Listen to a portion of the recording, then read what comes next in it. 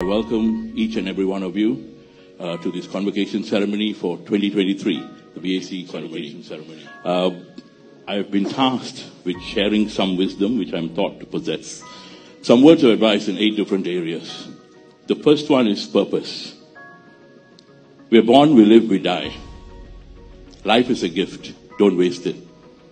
So just promise yourself to be the best version of yourself. Secondly, values. It's important that we all lead a life of values.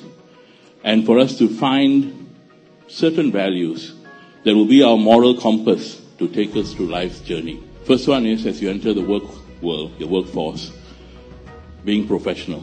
The second one is accountability. Take ownership. Third one is empathy. We all feel, you know, we always feel that, you know, we have things bad, but there are others who are worse off.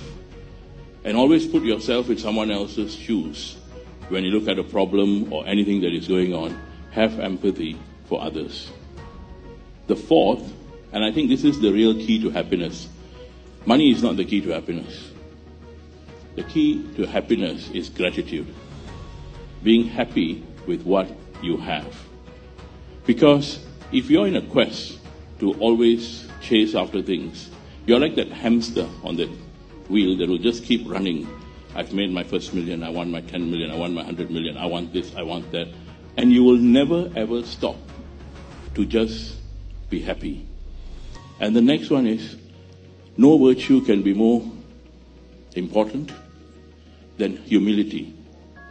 Always be humble. Realize that whoever you or I, or whatever we think we've done, whatever we think we've accomplished, at the end of the day, we've all got a certain time on this planet, and then we leave. And that's what education really is about, is that culmination of the formal learning and all that informal learning that you go through with your colleagues, your classmates, your friends, your teachers, that entire circle around you. So values. Thirdly, relevance. The biggest challenge you're going to face is how do we stay relevant? Darwin put it this way it is not the strongest nor the most intelligent of species that will survive, but the one most adaptable to change. Toffler said, The illiterate of the future will not be those who can't read or write, but those who can't learn, unlearn, and relearn. And this is not just for individuals. Countries have become irrelevant, companies have become irrelevant, and the same goes for people. So, your challenge, you're not like our generation. For us, we could just go study law or medicine or, dentistry or engineering or whatever, and be very happy sitting there for the next 30 years because the rate of change wasn't as fast. But today, it is a different game. And you need to be up to it. You need to continuously learn, improve, and not just within your area. So, how do we stay relevant? The fourth thing learn. You must be prepared to learn. Gandhi put it best when he says, Live as if you will die tomorrow, learn as if you will live forever. That thirst for knowledge, that hunger to learn, must always be there with you. Charles Tremendous Jones put it in, another statement which I like. He says, The person you are today and five years from now will depend on two things the people you meet and the books you read. The next thing is to build competencies. I am very much an advocate of what we call a polymath. A polymath is basically a person who has skills or knowledge and the ability in diverse areas. If you learn across fields, you become much more useful to the community and you will find that you are really empowered. You've got your purpose, your values, relevance, learning, and building competencies. Now look at brand.